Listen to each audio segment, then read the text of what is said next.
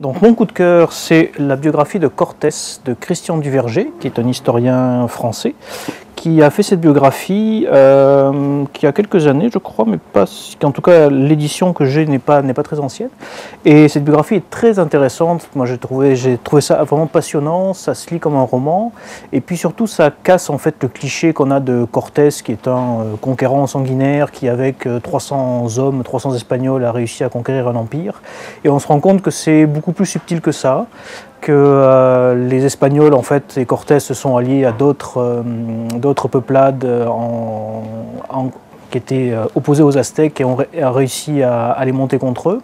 Et donc il y a plusieurs phases dans ce livre, dans cette biographie, qui sont vraiment passionnantes. Il y a la phase exploration et aventure, où on voit que Cortés est vraiment un aventurier né, qu'il a ça dans le sang, et que ce qui le motive, c'est vraiment quasiment l'aventure pour l'aventure, et pas, à la limite même pas le pouvoir, parce qu'à un moment, quand il a son empire, aztèque et qu'il a, qu'il a, vaincu les Aztèques, il repart à l'aventure quitte à tout perdre.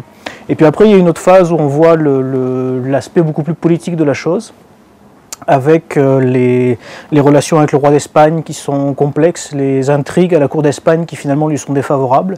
Et euh, donc voilà, c'est une belle histoire euh, de, de cette époque, qui est une époque passionnante, qui est aussi la rencontre de deux mondes qui s'ignoraient complètement. Et euh, donc voilà, c'est pour toutes ces raisons que je recommande cette biographie que je trouvais excellente.